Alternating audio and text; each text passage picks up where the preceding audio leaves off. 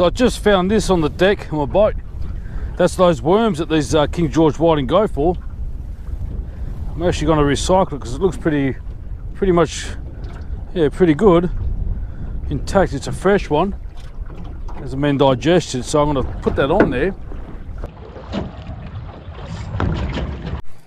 Fish aren't promising. Got the telltale signs. Oh yeah, yeah, yeah, beauty. I can't remember if this was on the uh, bloodworm.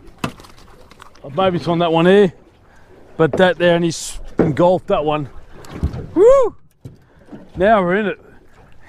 One's a fluke, two's okay, luck, three, skilled.